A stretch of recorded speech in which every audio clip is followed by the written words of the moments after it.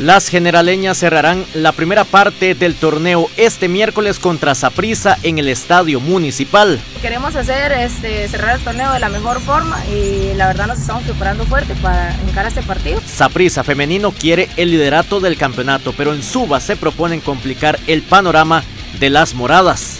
Sabemos que Saprissa viene a ganar, eh, pero igual nosotras este, también vamos a hacer el trabajo para sacar la victoria.